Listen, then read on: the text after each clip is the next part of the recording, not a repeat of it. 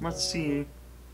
What should the thing be? Hmm. um, Let's see. Marie's brother's coming in town, so.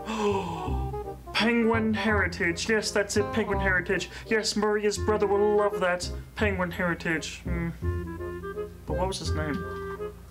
James? No.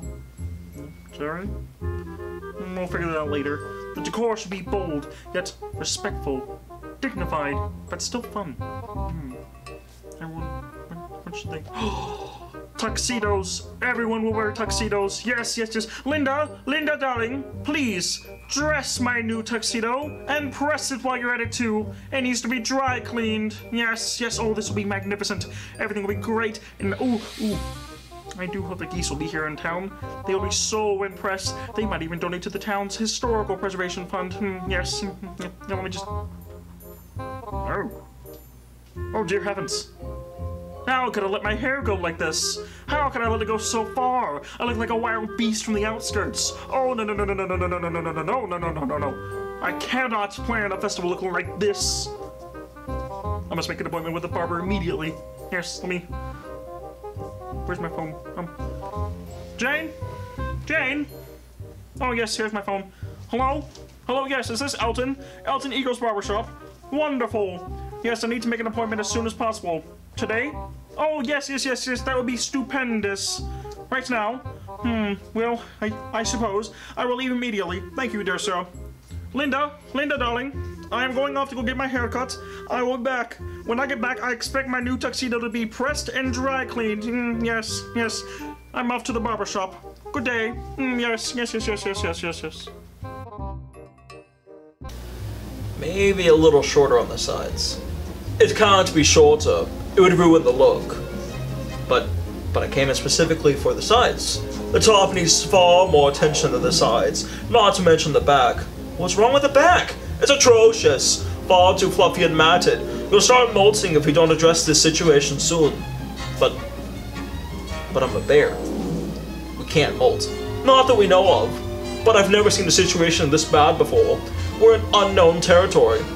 Elton, I don't. Yes, it is I, the mayor. Chase, get out to my establishment. But but what about my hair? It's beautiful. But but what about the back? Perfect, stunning, absolutely fabulous. Wouldn't change a thing. Now, get out. My next client is here. But but what about I'll send you the bill and we'll go from there, okay? Good day to you, sir. What might I, the mayor, do to support this fine barbershop? Well, you have an appointment, sir. Ah, yes, indeed. I knew that. I was just testing you. Of course you did, sir. You're a very wise and knowledgeable man. Why don't you come and have a seat and we can begin? Oh, well, yes, thank you. Thank you, I greatly appreciate that. Thank you.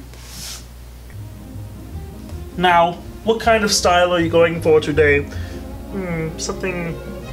something distinguished. Something that says, ah, yes, he is the mayor. Of course, sir.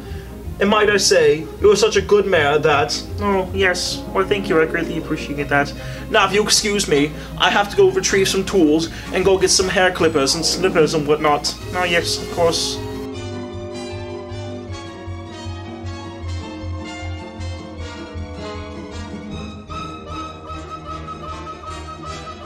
Oh yeah, I've come back now. I have all the equipment I need to make sure we have a successful haircut, yeah. Oh, yes, why, thank you.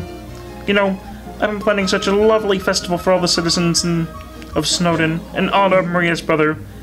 It will be so spectacular to celebrate penguin heritage. Oh, before I forget, make sure you get your tuxedo ready. We'll do, sir, yeah. Oh my, my, look at the time. Well, could you hurry it up a little bit? There's still so much that needs to be done. As you wish. I still must finish planning, not to mention all the landscaping. There's so much that needs to happen. The lawn is so overgrown. For how short would you like to go, sir? It must be shaved. Whatever you say. Then we need to prune the trees and shrubs, and that's all before we start decorating.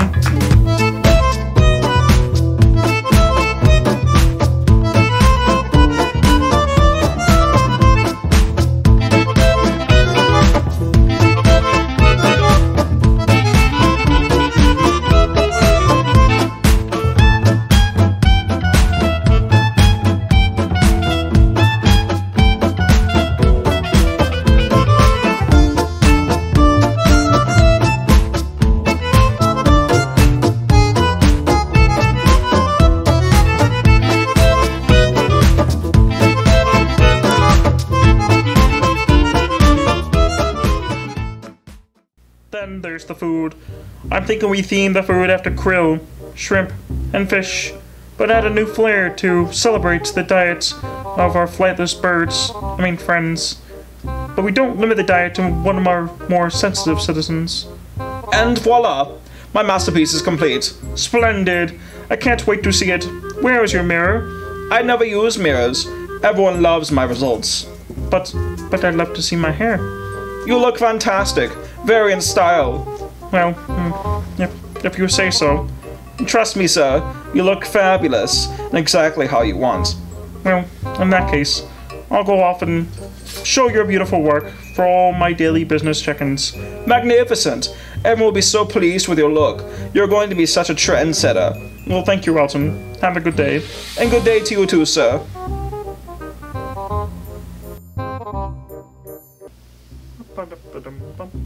Oh, hello, Chase. How are you doing today? Uh, uh, great, sir. Thank you for asking. Wonderful. Good to hear. Well, how's the family? I'm just gonna go this way. People these days. Hmm. Probably all the kids, but it's okay. Oh, hello, Melvin. How you doing today? Well, I'm just, uh, I mean, I'm just doing dandy, sir. Delightful. Good to hear. Well, do you do you have any emails today? I, I sure do, but it just happens to be this way. I'll see you later, sir. Mail time, I suppose. Hmm, Okay. Oh, hello, Isaac. How are you doing today? There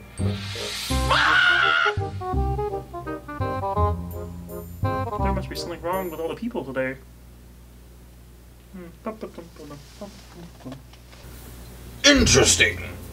Oh, how I do love a good folktale. Dear, the salmon will be ready in 15 minutes. Oh, yes, yes, yes. Hmm, fascinating. Darling, are you listening to me? Of course, dear. Invisible clothes. Such a clever ruse. Good afternoon. It is I, the mayor. Good evening, Leonard. Is it really that late evening? Hmm. My mind. That time really does fly. Indeed. Hmm. what an interesting choice. So, um, how are things here at the library? Marvelous and truly fascinating. You, um, do you notice anything about me? Hmm, what's that? Walter. Hmm? Walter. Hmm? Walter! Yes, yes. Oh, oh, great googly googly. Oh, oh. So, um, what do you think? What happened to your hair? Elton, the barber cleaned me up and made me look good for the festival. So, um, how's it look? He said it was going to be the next big thing, that I'd be a trendsetter. Elton, Still refuses to use the mirror, doesn't he? well, he doesn't believe in them. Well, I would look in one if I were you. Well, let me look at this one. He guys! Oh, oh, what did he do to me? Oh, oh, Leonard, it's not that bad. oh, I have a bald spot here and there. Oh, I did, I look terrible. Oh, oh, I'll have to call the festival off. Maria's brother will never respect our town. Who could look at a mayor like this? Let alone respect a mayor like this? I don't think. What if they choose Ottawa? The geese. Oh, the geese. They'll never come to Snowden. They'll, they'll, they'll have to pick a new summer home. They'll go to Ottawa. Ottawa, do you understand me? Ottawa. Get a hold of yourself, Leonard. What? Oh yes, yes, yes. I may, I might have gotten a little carried away there, but can you blame me? I'm shared like a sheep. You know, I think your little predicament reminds me of this fascinating book I've been reading. Is that so?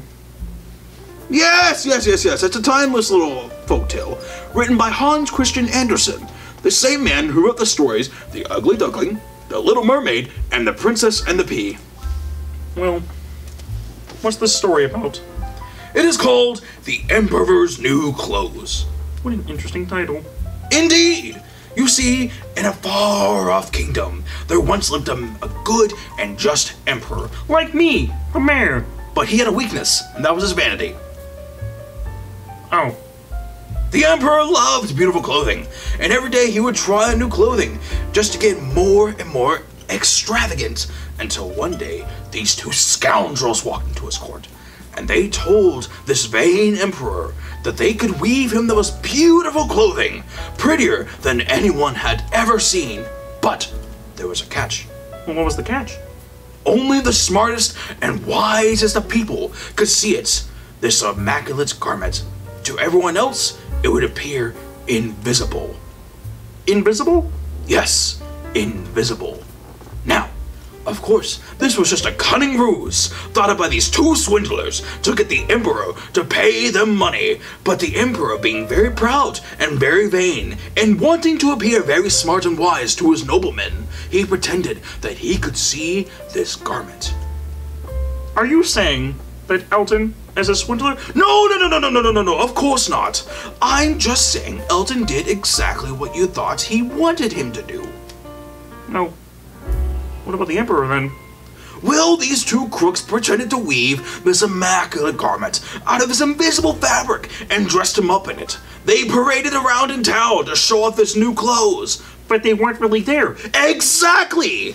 So, so this means the Emperor was going around In his undergarments, yes! Surely his subjects would have told him something. No, no, no, no, you see, all of his subjects were very kind, albeit a little proud of themselves. They didn't want to embarrass the Emperor. They all had heard that the garment was visible to those of great wisdom, so they kept seeing like they were smart and keeping their mouths shut. All but one little boy, who, all of his innocence, cried out amongst the crowd, The Emperor has no clothes! Well, what happened then? The whole crowd burst into laughter as the Emperor rushed back into this palace. For you see, they, including the Emperor, had all realized it was a trick and just a mere ruse. All had been in naught but the Emperor's vanity and pride. None of them would have fallen for it. So what does that mean for my hair? Nothing! Nothing at all, my dear friend! because that is all it is, It's just your hair. It will grow back. The only thing causing your embarrassment is your own vanity. Well, I guess if I wasn't so vain in the first place, I would still have my hair. But what's done is done. I don't think you look bad. And, well, maybe a nice little top hat would suit you. I think I actually have one of my old grandfather's. Let me let me go check. Well, um, okay, if you, if you really insist. I, I don't really know. Here, let's see. Try this on. It might look good on you. Here we are. Let's see how you. look at you! You look wonderful! Why? Why, I rather do like it. It makes me look rather distinguished if I do say so myself. Hmm. Maybe if I might change up my tie or wear different color cufflinks. What do you think, Walter? I think we still have some work to do, but you're getting there. Oh, these geese are going to love this look. Why? It'll be all on the rage. Everyone will be wearing this, and everyone will be wearing top hats, and everyone will be wearing suits, and not to mention the tuxedos for the festival along with the suits. Oh, it'll be fantastic. It'll be marvelous for the festival.